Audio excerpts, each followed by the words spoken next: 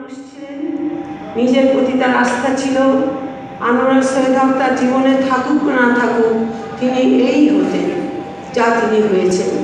এই ধরনের মানুষেরা কারোর কোনো সাহায্যের তোয়াক্কা করে না। তারা যদি ডাস্টবিন থেকে উঠে আসে, তারা আকাশের দিকে চলে যায়। কারণ তাদের ভিতরে যে সত্তা আছে, যে ক্ষমতা আছে, যে প্রতিভা আছে, সেটা সমাজের কোনো কিছুই তাকে আটকাতে পারে না। নইলে চিন্তা করে দেখুন যে আমাদের পরিবার থেকে বা তার বন্ধুবান্ধব, তারা কতভাবে জনসমুখে তাকে অবমাননা করেছে, তার পরিবারও তাকে অবমাননা করেছে। ব্যঙ্গ, বিদ্রুপ, হাসি, ঠাট্টা নানা রকমভাবে তাকে হেয় করার চেষ্টা করা হয়েছে আজীবন। কিন্তু এই মানুষটি সর্বদাই নিজের আত্মবিশ্বাসের চড়ে চড়ে এসেছেন। আমরা পরিবার হিসেবে তাকে মূল্যায়ন করতে পারিনি। আমরা অনেকেই তাকে অনেকভাবে ক্ষতিগ্রস্ত করেছি। যদি সেটা আমরা না করতাম, আমার দৃঢ় বিশ্বাস তিনি লালনের মতো একশো সতেরো বছরই বেঁচে থাকতেন।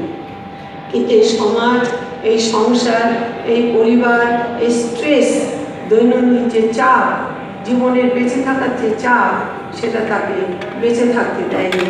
সৃজনী প্রতিভার যে সমস্ত মানুষ থাকেন তাদের পেছনে আরও দশজনের সহযোগিতা লাগে তাদেরকে বাঁচিয়ে রাখার জন্যে।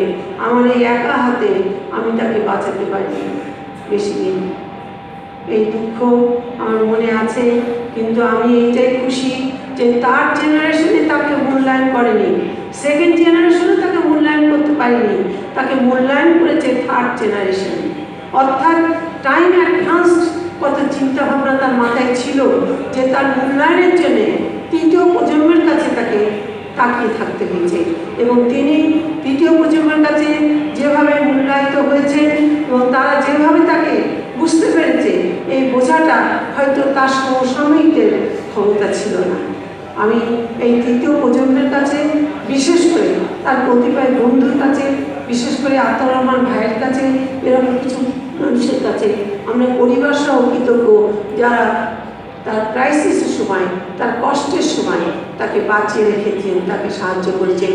আর যে সাগর, সাগরের কথা কি বলব আমি? সাগর আমাদের ছেলে, সাগর আমাদেরকে বিপদে আপদে সবসময় সাহায্য, সহযোগিতা করেছে। এবং চ্যানেলের পরিবার আমাদের এক, আমরা এই পরিবারেই বিলং করি। এই পরিবারের ভিতরে আমরা আস্থা রাখি। এই পরিবারের উপরে আমরা নির্ভর করি। এবং আমার যত কষ্ট, যত দুঃখ, যত ব্যথায় থাক না কেন যত হাউতাসি থাক না কেন আমি সেটাকে বুকের ভেতরে চেপে ধরে চ্যানেলের সঙ্গে সবসময় থাকব। ধন্যবাদ।